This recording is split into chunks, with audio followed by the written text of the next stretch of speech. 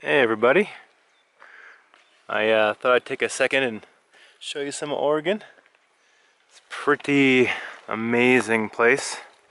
This is kind of what I expected Oregon to be. I'm in the Jefferson Wilderness right now.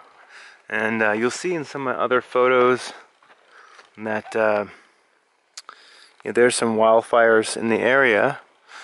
But luckily, they have kept the Jefferson Wilderness open and it's remarkable.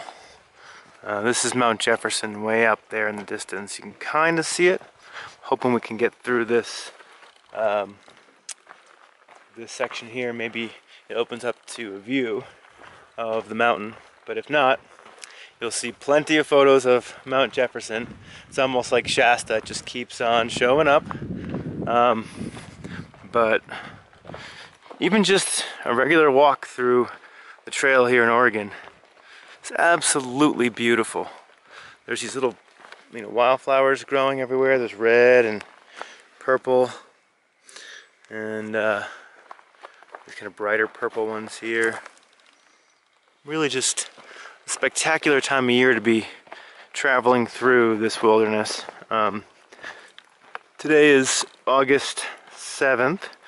I hope to make it to Cascade Locks by around August 12th. Aha, here we go. we can see, just walking through the forest here, we can see Mount Jefferson in the distance there.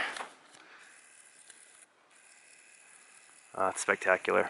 There's a lot better views of it than this I took uh, photos of. But I just wanted to, you know, give you a sense of just how beautiful these um, forest walks are as well. You know, these little meadows everywhere. And the trees are so green and beautiful. Anyway, I look forward to updating you guys again soon, hopefully in Cascade Locks, if not sooner. Talk to you soon. Bye.